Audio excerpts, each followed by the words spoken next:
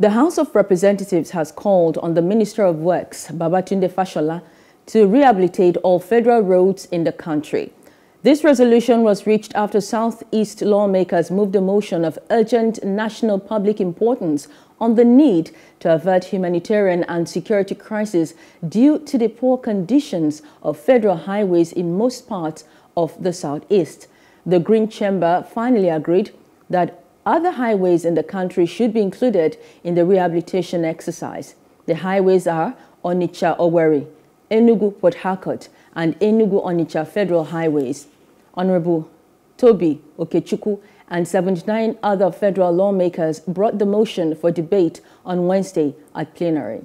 In the past five days, at minimum, vehicles going to Lagos that pass through Kaba spend six, seven hours, some spend three days on the road. So, Mr. Speaker, my prayer is that we should include that road rather than having multiple motion on road infrastructure. The Delta State Direct Labor Agency is doing very minimal palliative measures to ensure people can pass.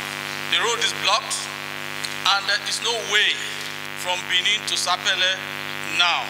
Uh, I want to beg that that road be added to it.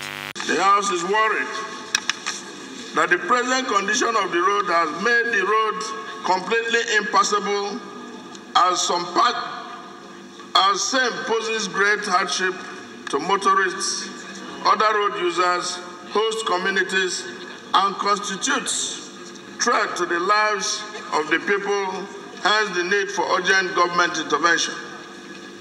The House further notes that several portions of the Enugu-Port Harcourt Expressway are failing even while the contractor are, contractors are still on site.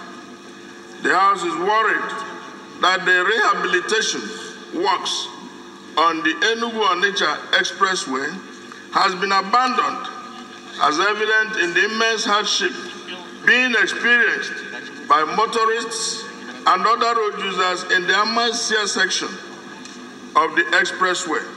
Federal roads that were affected as a result of the rainy season should also be made part and parcel of this motion. Hello. Hope you enjoyed the news. Please do subscribe to our YouTube channel and don't forget to hit the notification button so you get notified about fresh news updates.